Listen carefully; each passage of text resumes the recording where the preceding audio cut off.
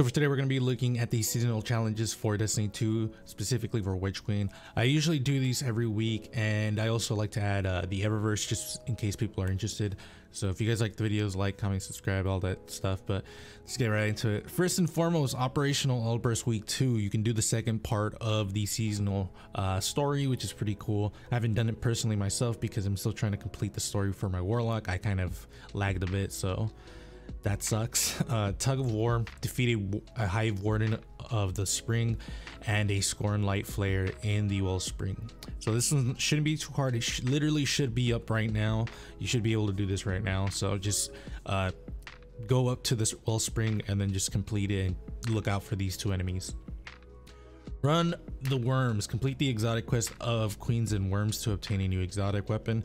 This is not too hard. This is the worm exotic grenade launcher that uh, you could get after you complete the story. So just continue on with uh, the queen's uh, missions, not the witch queen, uh, Mara Sov. Com continue with Mara Sov's missions, and you'll eventually be able to get this. It's actually a really good one as well. I highly recommend it.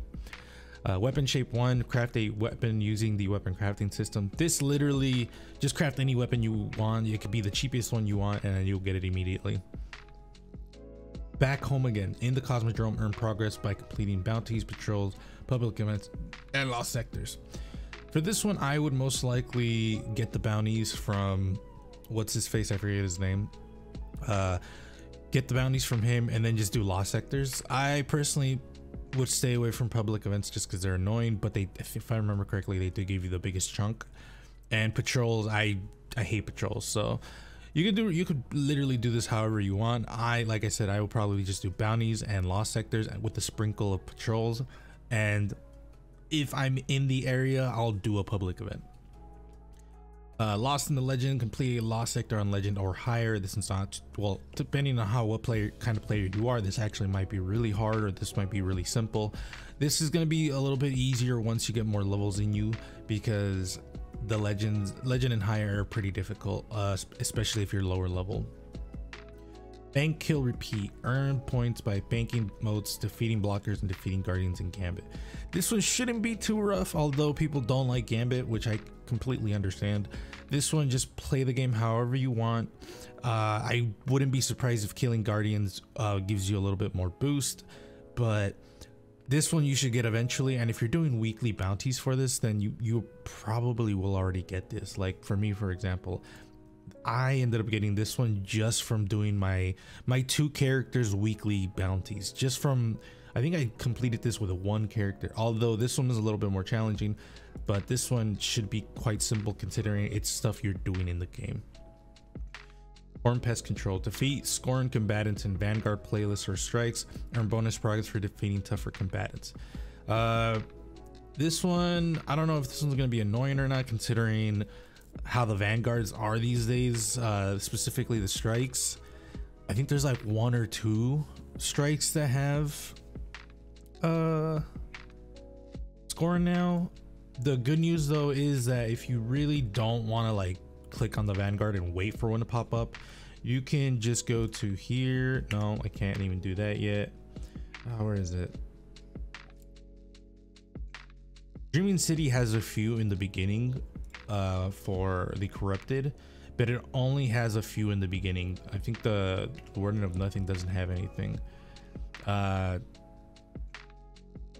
yeah, unfortunately, I don't know like off the top of my head which which strike has a bunch of them there's there's one in in savathun's throne world i know but i just can't go to it because my character hasn't even completed the second mission yet. Um or where are we going? Oh. Defeat guardians in mayhem playlist with your super abilities. This one's not too hard. Mayhem is super fun and it's you literally get your super so, so fast that you'll get this without even thinking about it. And then last but not least calibrate close range weapons sidearms uh, submachine guns, shotguns, glaives, and swords in the Cosmodrome. Bonus progress for rapidly defeating uh, combatants. So you're gonna want to pair the close range calibration with the back home again because obviously these two are you're gonna be doing them at the same time. Uh, so at that point, I probably wouldn't pick up bounties because it would conflict with some of the weapons that I'm doing here. So then at that point, I would probably just do lost sectors and patrols and then actually try to go for public events as well, maybe. As for Eververse, she has a pretty good shader, real treatment. I already got it.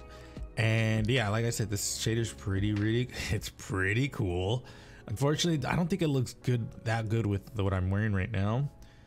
But as you can see right here, there's a really cool gold trim on like the purple. There's a lot of colors I really fuck with in this one, or which is why I like it a lot. There's a gold trim right there. There's like this purple, almost bluish hue here. It's like almost dark teal here, and then the purple I think looks amazing. So highly, highly recommend this one. You get the Leth's Mercy for from Season of the Hunt, which is the ornament for the chainsaw sword. I forgot what it's called. The Lament. There we go. Uh, this one looks really cool. It's just a shader difference though, so you lit like I think the only thing that's actually like different from this is cloth here, and I think that's it because everything else is just shader. Um, I don't know why this is popping up. And for the bottom, we have Le Monarque's ornament, the only ornament it got. So if you don't have it and you want it, you can get it right now. You can get the arms for the Warlock, the Flight of the Interceptor. I'll have the other ones up here maybe, but that's pretty cool. Uh, dual engine rhetoric capsule. It's a ship and then vehicle and then ghost shell so not a lot of things happening here this week unfortunately like i said in my eververse video eververse tends to usually uh sell stuff like at the like the third or fourth week or like a month in maybe so unfortunately we're, we're not going to see anything new for a little bit but as for shaders we have amethyst bloom which i don't remember this one off the top of my head. Yeah i'm not the biggest fan of this one just because like the pink is just kind of like gross looking in my opinion. Uh bloody tooth oh i would recommend bloody tooth guys. This is a good shader. Bloody tooth is uh if you want to go for like a really dark like at red i don't know what it is. The red just looks weird but it's a really good black shader. If you if you're looking for black shaders this is a really good one sometimes you'll get lucky and it'll just be black which is really dope. Uh, this also doesn't look terrible. Uh, my only gripe with it is the fact that for some reason Bungie likes when when there's a red shader, they like to make the glow blue for some weird reason. And then last but not least, 44 steel. This one's actually pretty good if I remember correctly. Yeah, I so the reason I say it's pretty good is because top here, up here it looks so fucking beautiful. This black with this like bron not bronze copper? Copper maybe. Uh this color combination up here looks super cool. Everything down here just looks a little too saturated in my opinion. Or not saturated but too much uh too much of the bronze not enough of the black. But if you get a if you get like an armor set that has like this this kind of combination where it's more black than than uh, copper then it's gonna look super dope that's pretty much it for your weekly stuff. Obviously i had i haven't put everything that the weekly reset offers like for example where the things are like where the legendary lost sectors are what what week it is what week is what week it is in dreaming city. I don't really do that just because there's other videos that do that. And i don't think there's enough videos that talk about the seasonal challenges and eververse is just for me as well so that way i can look at what she's selling. So let me know what you guys think in the comments below. Uh, I will not be running the day one raid only because a I fucked up and my my warlock didn't get leveled up which means I'm gonna be uber level like under leveled when the raid comes out.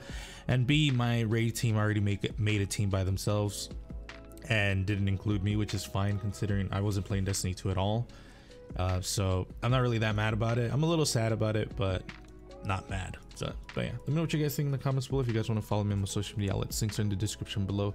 I thank you all for the constant support, and I'll see you guys later.